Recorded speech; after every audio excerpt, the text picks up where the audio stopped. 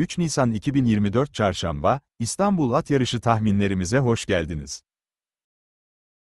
Bugün İstanbul'da ikinci altılı ganyan dahili koşuları yorumlayacağız. İstanbul ve Şanlıurfa programındaki tüm koşuların detaylı yorumları, yazılı olarak WhatsApp üyelerine de gönderilecektir. Anlayışınız için teşekkür ederiz.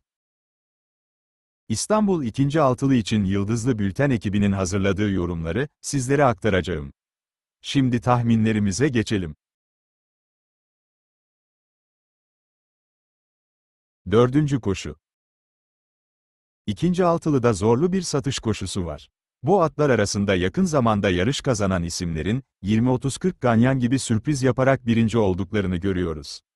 Yılda bir yarış kazanabilecek atlar bugün favori konumunda oluyorlar. Biz bu koşuda güvendiğimiz takip atımızı banko önereceğiz. Riskli bir koşu olduğunun farkındayız fakat, sadece ilk ayaktan yatmamak adına bu atın yanına at yazmayacağız. Bu koşuda banko önereceğimiz isim, 3 numaralı Mrs. Paris olacaktır. Mrs. Paris, bir süredir takip ettiğimiz bir isimdir. Daha sert rakipler yanında da önermiştik ve yakın zamanda kazanacağını belirtmiştik. Bu mesafede koştuğu son iki yarışı bizce çok başarılı. Hatta son 8.liğinde daha iyi yerde bitirebileceğini ancak binicisinin fazla zorlamadığını söyleyebiliriz. O gruba göre bugün çok daha uygun rakiplerle yarışacak.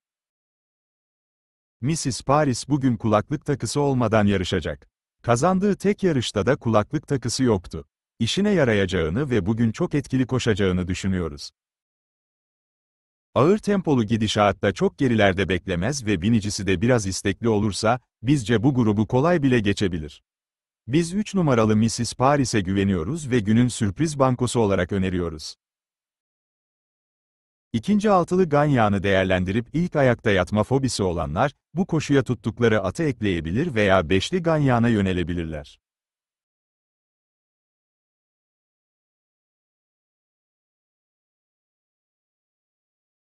Beşinci koşu. Bir numaralı Cevdet Bey, son yarışında çok iyi koştu fakat önde boş kalan rakibine yapabileceği bir şey kalmamıştı. Biraz daha erken davransaydı kazanabilirdi. Bugün de süratli bir tempo beklemiyoruz. Vedat sprint mesafesini iyi ayarlarsa kazanabilir. 3 numaralı Hadioğlu grubun güçlü isimlerinden biridir.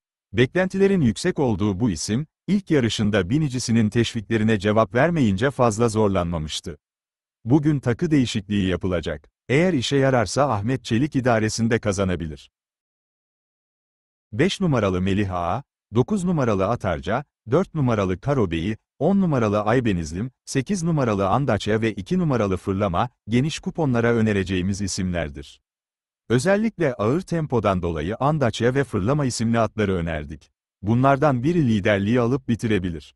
Dikkat etmekte fayda vardır. Bu koşudaki rakamsal sıralamamız, 1, 3, 5, 9, 4, 10, 8, 2 şeklinde oldu.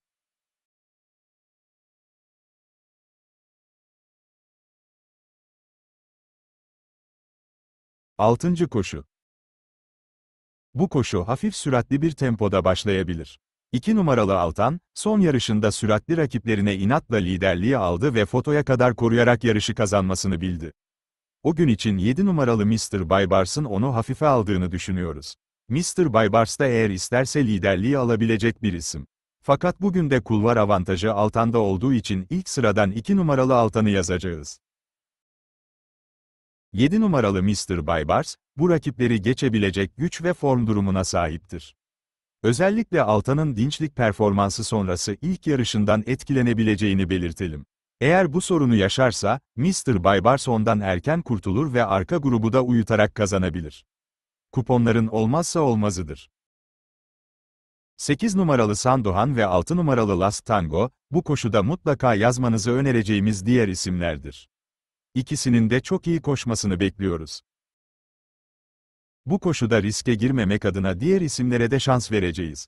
Aradan iyi döndüğü aktarılan 3 numaralı Kings Front başta olmak üzere, 1 numaralı Kando, 9 numaralı Yele Dilo, 5 numaralı Borrego ve 4 numaralı Soleil Jarden'i yazıp burayı kapatalım. Bu koşudaki rakamsal sıralamamız 2, 7, 8, 6, 3, 1, 9, 5, 4 şeklinde oldu.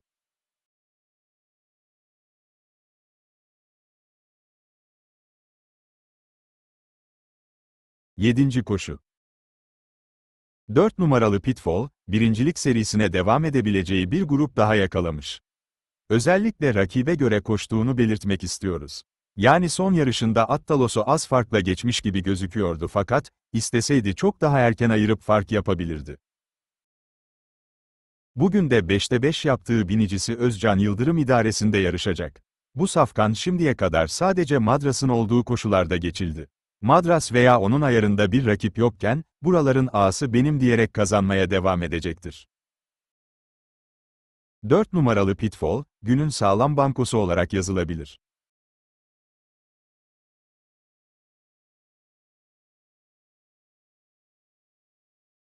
Sekizinci koşu. Bu koşuda yarış biraz süratli başlayabilir. 4 numaralı Ulu Arat ve 5 numaralı Dilan Kız yarışa tempo verecek olan isimlerdir.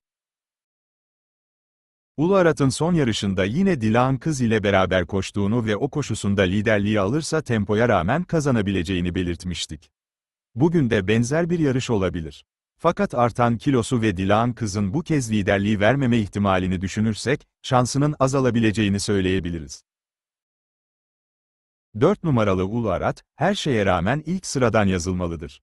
Çünkü liderliği aldığında kolay kolay teslim olmayan bir isim. 2 numaralı Lujia, kilosu ağırlaşıyor olsa da bu kez etkili düzlük sprinti ile kazanabilir. 3 numaralı Canım Çıtır, çok fazla sentetik pist deneyimi olmasa da bu pisti koşabilen bir isim. İlk sentetik birinciliğini uygun rakipler yanında alabilir. 6 numaralı Cüda, normal şartlarda yazacağımız bir isim değil fakat, çelikler bu tür kazanma karakteri düşük atları fotoya atabiliyorlar. Özellikle bu tür favorilerin güven vermediği yarışlarda yazmak lazım. 8 numaralı Rüzgar Kızı, bu grubun atı değilmiş gibi gözükebilir. Fakat farklılaştığını ve bu gruba diş geçirebileceğini belirtelim. 1 numaralı Tek Aşkım ise sigorta amaçlı yazacağımız bir isimdir. Bu koşudaki rakamsal sıralamamız 4, 2, 3, 6, 8, 1 şeklinde oldu.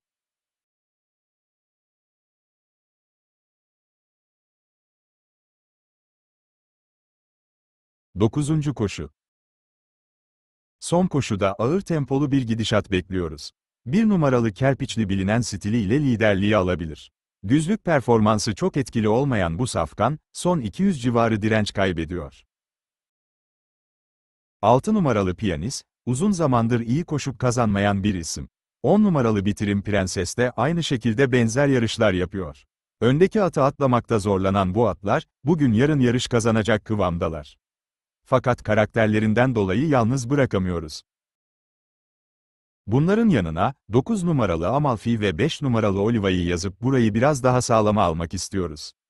İkisinin de ilk sentetik pist yarışları oldukça başarılı.